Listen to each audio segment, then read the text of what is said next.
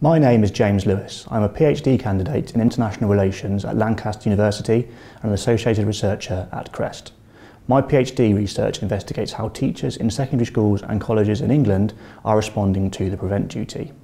This statutory duty, introduced in 2015, places schools and colleges under a legal obligation to have due regard to the need to prevent people from being drawn into terrorism. This has proved highly controversial, many expressing concerns about the potential securitisation of education. I too share some of these concerns. However, there's an increasing recognition around the world that education can play an important role in countering violent extremism. Many authors have spoken about specific educational approaches to tackling this problem. In many cases, the skill and expertise of teachers is often crucial to their success.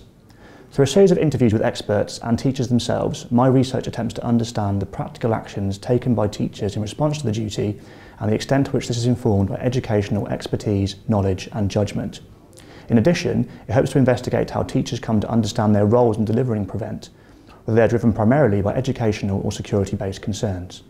Teachers already support pupils to develop many skills widely considered important in the prevention of radicalisation.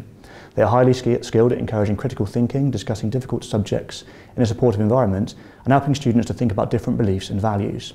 This expertise must not be overpowered by security concerns. For educational approaches to counter-extremism to be effective and legitimate, responses must be rooted in teachers' own educational knowledge. Indeed, it could be argued that in some cases, teachers should continue to encourage these skills outside of counter-terrorism. This project places teachers at the centre of the discussion of prevention education. It aims to understand how security and educational expertise interacts in practice.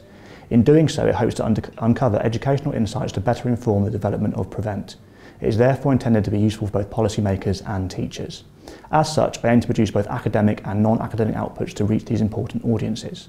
For further information about my project, visit the CREST website at www.crestresearch.ac.uk.